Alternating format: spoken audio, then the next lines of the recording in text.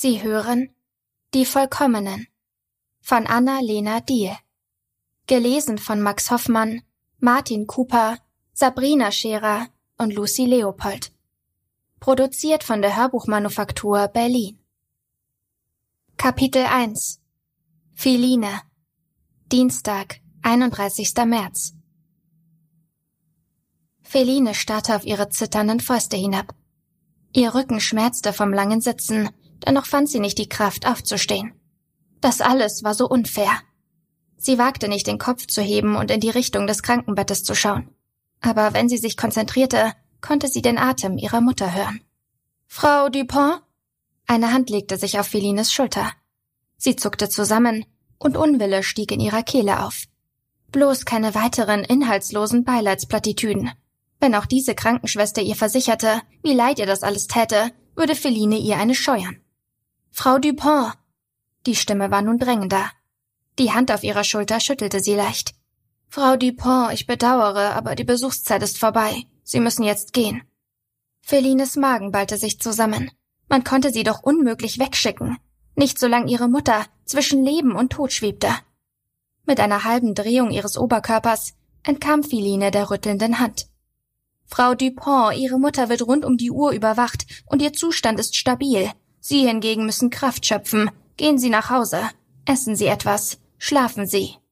Wütend ballte Feline die Hände. Sie können doch nicht. Philly. Die Stimme ihrer Schwester war kaum zu hören. Leti hatte die ganze Zeit so still dagesessen, dass Feline ihre Anwesenheit vergessen hatte. Nun überkam sie das schlechte Gewissen. Es kostete sie unendlich Kraft, den Kopf zu heben Sie vermied es krampfhaft, zu der reglosen Gestalt im Krankenbett zu den Schläuchen und Monitoren zu schauen. Der Schreck durchfuhr sie, als sie in Letis blasses Gesicht und die traurigen Augen blickte.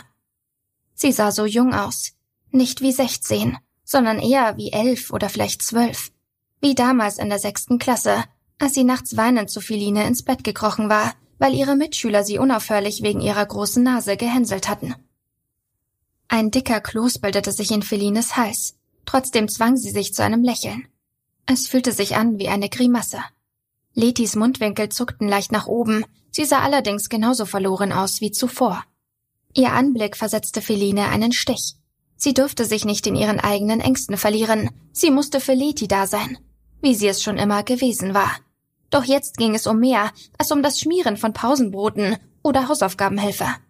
Feline erhob sich und streckte die Hand nach ihrer Schwester aus. Komm, Leti wandte den Kopf Richtung Bett. Und wenn sie aufwacht, dann werden wir da sein.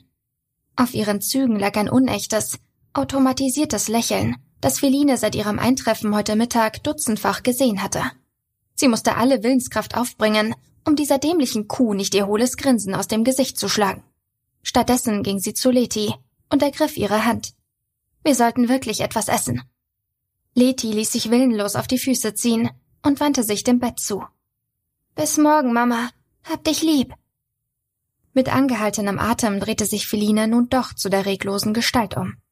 Sie sah nicht mehr aus wie ihre Mutter. Nicht wirklich.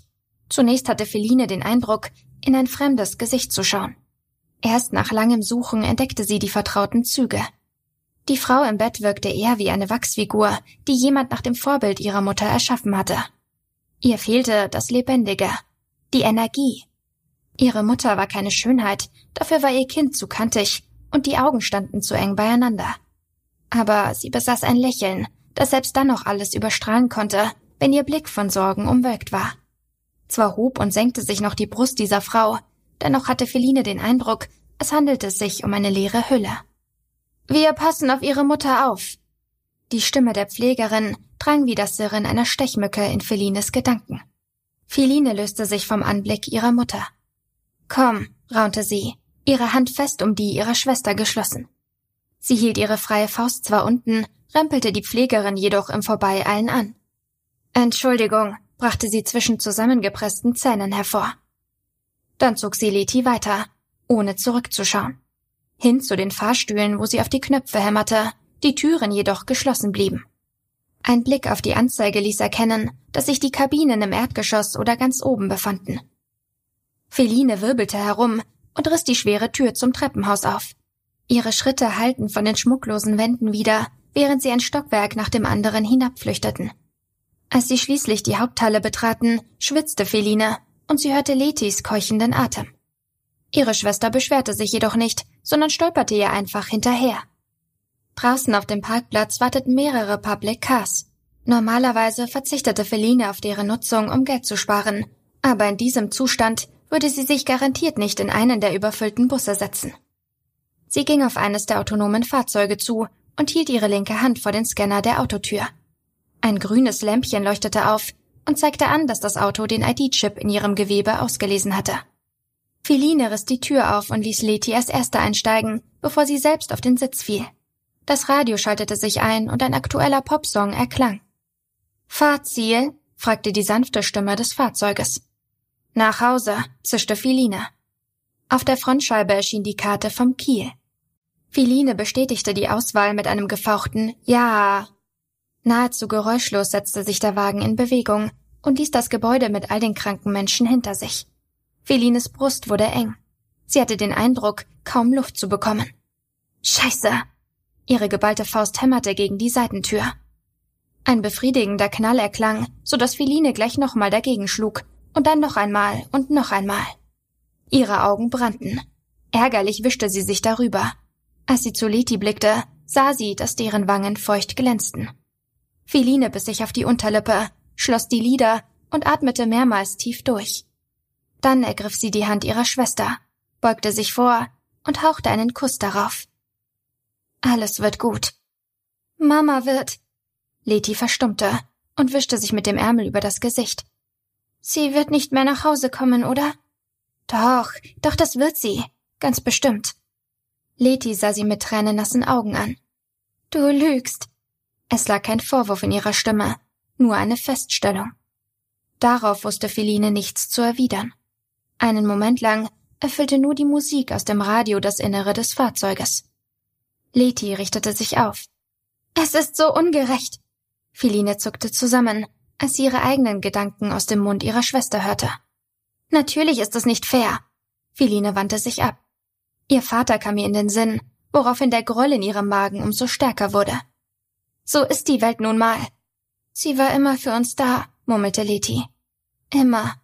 Und nun soll sie. Denk nicht einmal dran. Feline schaute ihre Schwester eindringlich an, während sie spürte, wie sich die Hilflosigkeit in ihrer Brust zusammenballte.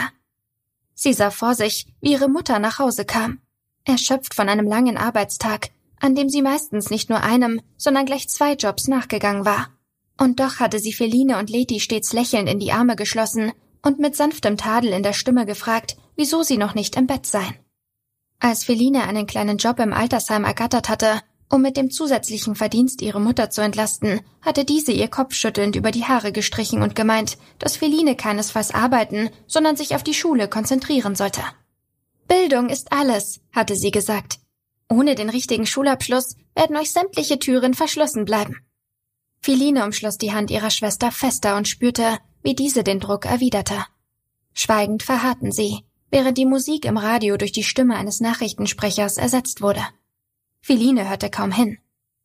In Gedanken war sie bei ihrer Mutter und der ihr widerfahrenden Ungerechtigkeit. Vor allem stand jedoch die drängende Frage im Raum, was sie nun unternehmen sollten. Am vergangenen Samstag begann die Genetikwoche in Hannover, berichtete die Nachrichtensprecherin und ließ Feline aufhorchen. Aussteller und Experten gehen der Frage nach, mit welchen Maßnahmen es geht mehr denn je um die internationale Zusammenarbeit und das vereinbarte Ziel, den perfekten Menschen zu erschaffen, um so gemeinsam einer strahlenden Zukunft entgegenzuschreiten. Feline presste die Kiefer aufeinander, um jene Schimpftiraden zurückzuhalten, die ihr auf der Zunge lagen. Gemeinsam, dachte sie, dass ich nicht lache. Im Radio wurde nun ein Ausschnitt aus der Rede der Bundeskanzlerin eingespielt, die von einer Intensivierung der Kooperation der EU-Länder mit China und den USA sprach und zudem betonte, welchen Beitrag jeder einzelne Bürger leisten konnte, um die von allen so ersehnte Zukunft Wirklichkeit werden zu lassen. Anschließend wechselten die Nachrichten zu anderen Themen, wie der aktuellen Inflationsrate und der baldigen Rückkehr des Schulschiffes Gorch Fock nach Kiel. Währenddessen fuhr ihr Fahrzeug erst den Kronshagener Weg und dann den Skandinaviendamm entlang und hielt kurz darauf vor ihrem Wohnblock. Ein Geldbetrag erschien auf der Frontscheibe. Im nächsten Moment kündigte ein grüner Punkt an, dass die Summe